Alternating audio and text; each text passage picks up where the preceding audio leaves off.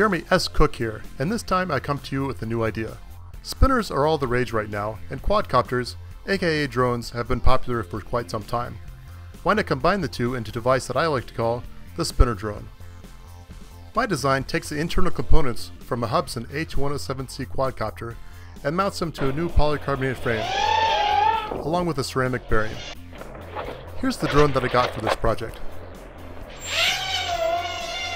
Since I'd be destroying it, I needed to make sure it actually worked. After that brief test, it was time to check out the bearing. As it just so happens, I had designed a new frame for a little Hubsan drone, but never tested it out. Taking this design as a starting point, I added a hole in the center that should just barely fit the bearing. Once that was done, I sent it to my CNC router and set up the cutting pattern. My router then obediently cut out the needed shape, and after deburring, I had an awesome little frame.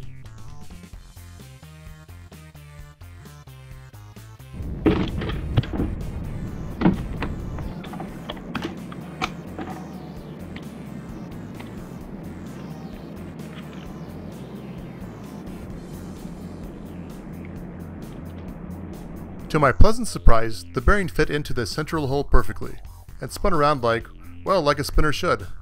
It was then time to disassemble my Hubsan drone. After detaching the bottom with a screwdriver, I cut the motors out with a Dremel tool. I could have simply unsoldered the motors and popped them out, but I was going to dispose of the frame anyway, and that seemed a little easier.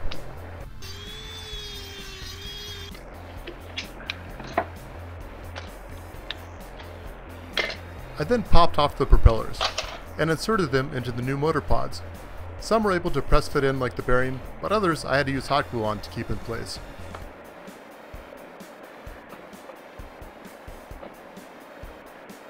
It was then time for my favorite thing in the whole world, soldering.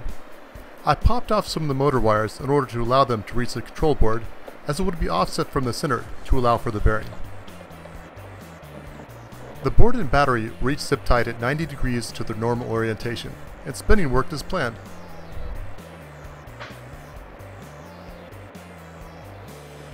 Once in place, it was time for more soldering, adding the extra wires as well as heat shrink to keep them from shorting out against each other. After applying hot glue to two of the motors, it was time to test everything out.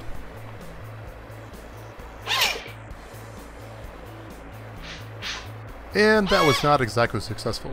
I suspected that the problem was that the control board being mounted at 90 degrees meant it thought the whole quadcopter was on its side at takeoff.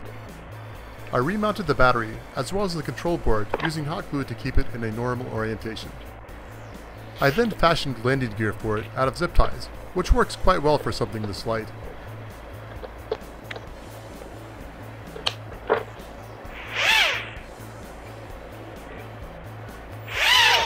There was still a bit of a problem.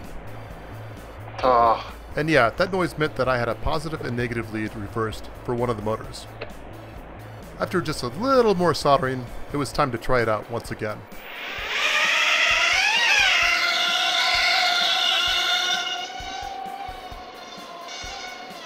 Success! A spinner that can fly like a quadcopter.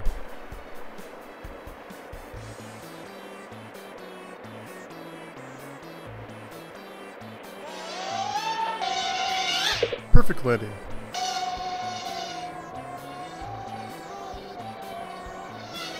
Thanks for watching. Be sure to subscribe to see what comes next. Oh, and one more thing.